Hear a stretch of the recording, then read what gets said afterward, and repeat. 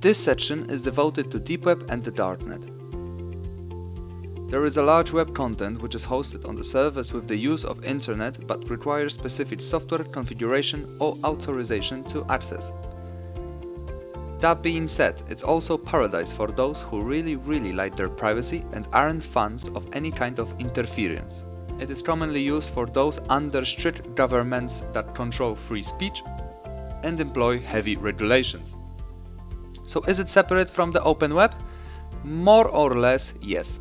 The data itself still uses the same channels, but the walls of encryption put a clear division between open web content and the darknet. You cannot hop onto your favorite browser and visit DarkSide anytime you want for instance. Traditional search engines like Google also tend not to index or show any dark web content for a variety of reasons. But how is the dark web different from the deep web? Well, these terms are sometimes used interchangeably, but there is a significant difference. The deep web refers to all parts of the web that are hidden away from the average user and are not indexed by the average search engines. This includes an immense amount of data, internal copies of various web pages and anything that you need an access code to reach. Why do people use Tor to access the dark web? Here are the three main reasons why. First, to be anonymous. There are reasons why someone may want to protect their online identity. In some cases, this is because they would be in danger if their identity became known.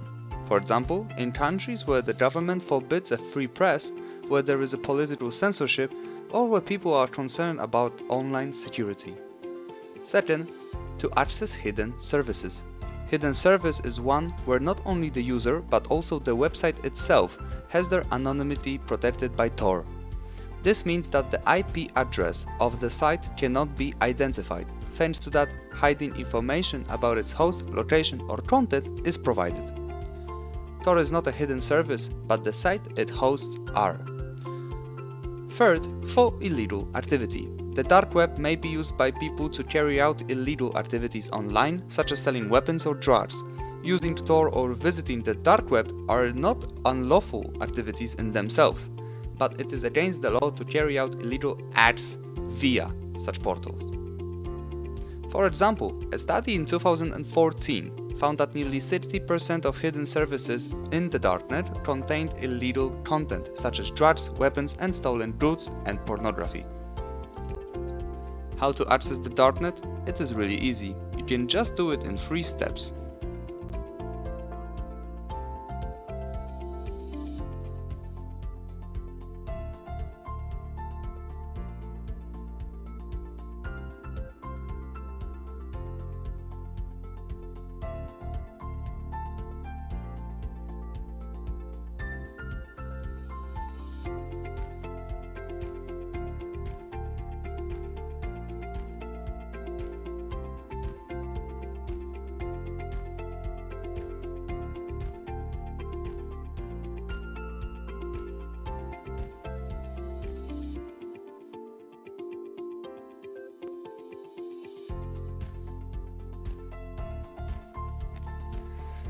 So what are the challenges of darknet and deep web?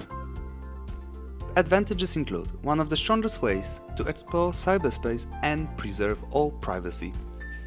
Secondly, much larger uncensored network of information. Thirdly, access to a large database of records.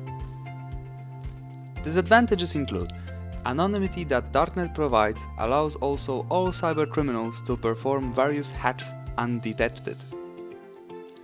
Secondly, it is a very unstable environment, which means that most of the attempts to induce legislation will go in vain. Thirdly, huge black market operations happens through darknet, which includes even child pornography.